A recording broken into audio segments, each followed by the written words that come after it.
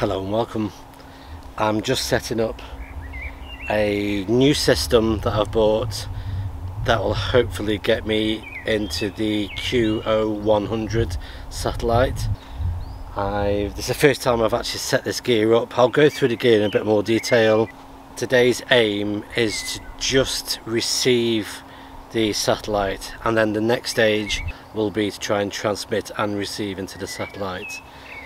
So I'm here at Keele University which is not far from where my office is based. This is a great location because it's quite high up.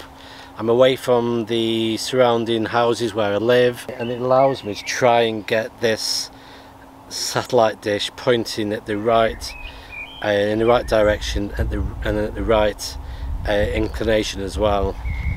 So I'll just walk you through the initial setup and then we'll put the radio on together and we'll see what we can hear. Okay, so let me just um, bring you around. So at the heart of this system is the DX Patrol QO100 ground station and that's currently just we're waiting to get a GPS lock onto that. So it's the um, DX Patrol QO 100 ground station um, and I've also with that I, I also purchased the QO 100 LNB and then also the um, the, the antenna for that as well uh, and there's the RF socket for the for the transmit part of it.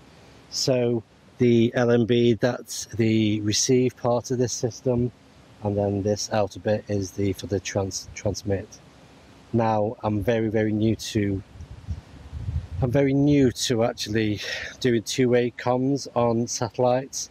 On previous videos I've I've done quite a bit on the satnogs so I've got a little bit of experience to do with satellites, but this is a whole different ball game with working the QO100 in the fact that actually offers a, a fixed uh, it's a fixed position in the sky.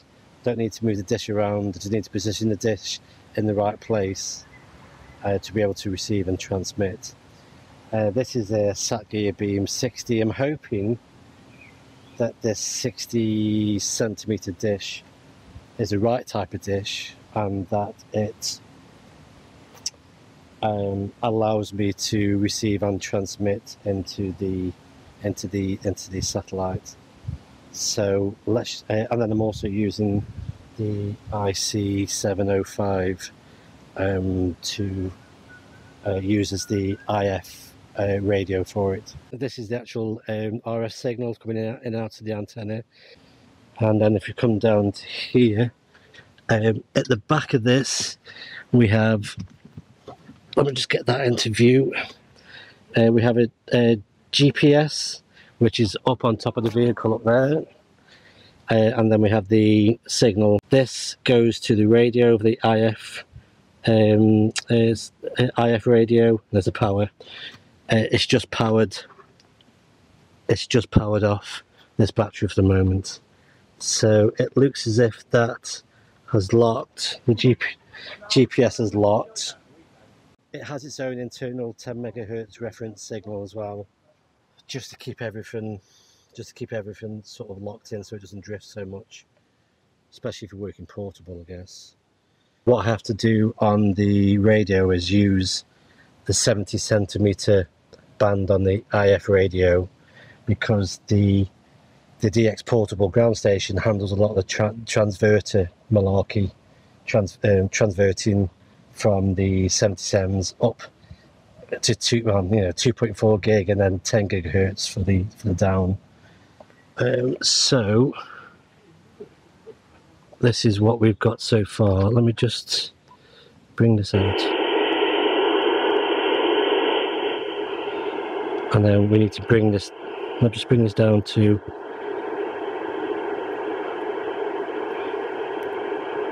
uh, down to SSB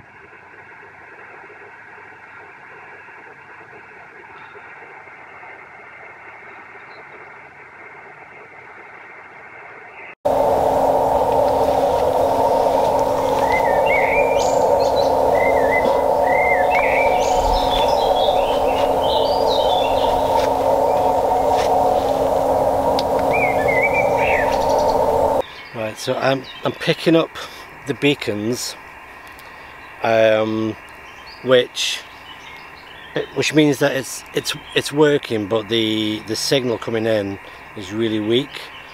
Now the idea with the QO100 is all the other signals use the well the beacon as a reference. The beacon should be the strongest signal coming from the transponder. Uh, everybody else is meant to keep their signal strength below that. So I'm picking up the beacons relatively weakly, which means that all the other signals, like the SSB signals especially, will be probably below the noise floor.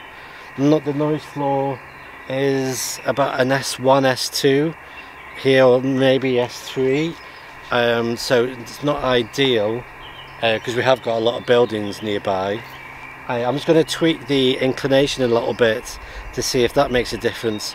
But we've got um, we've got these trees be, behind the camera which might be attenuating the signal. Um, the 10 gigahertz signal. Uh, it might be that the dish isn't an ideal dish for this type of operation. I don't know. Uh, uh, any comments below?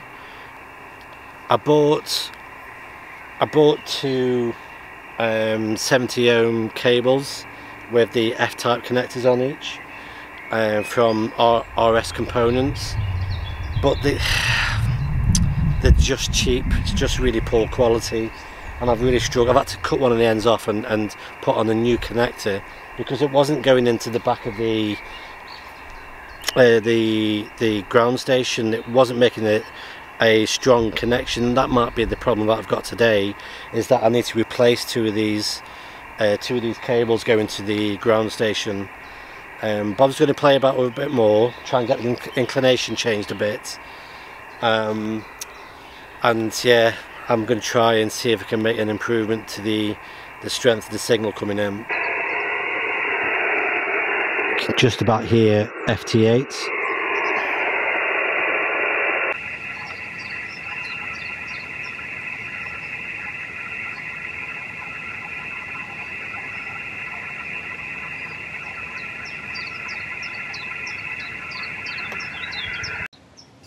This is now the radio box.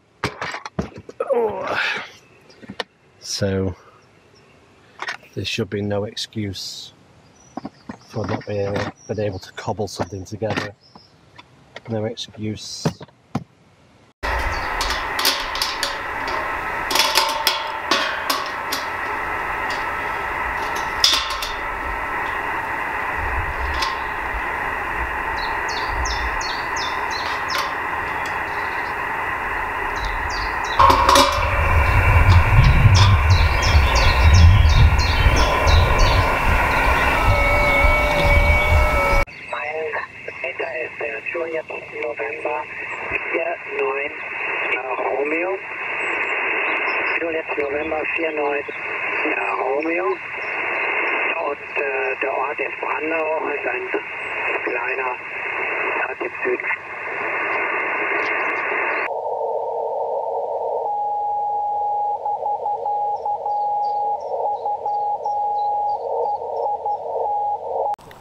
What I've learned so far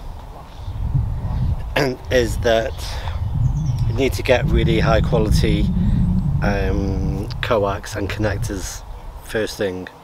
The QO100 ground station takes a lot of the hassle of having to build up your own system with a transverter and amplifiers and power supply. It comes handy in one box. What I have learned though about the, the ground station is that it does not give you um, duplex um, with the QO100 it's it's very it's different than just speaking in simplex between two HF stations. It actually uses a transponder system where you beam into it and it beams straight out on a different frequency that means that a you've got to main you've got to limit your power because you don't want over uh, overdrive the front end because you can't go up there and fix it. So you need to be able to monitor your signal strength as it's received by the by the, the satellite. So you need to have some way of monitoring not so much the audio but the signal strength. With the with this ground station it only really gives you um, transmit or receive it hasn't got the circuitry to do both the in fact it shares some of the circuitry so that is a downside to this station however in majority of locations you can get your phone out and go onto the uh, Goonhilly web SDR and see a signal strength. There's even a signal strength plot meter on there. If you stretch it out you can look at the plot meter.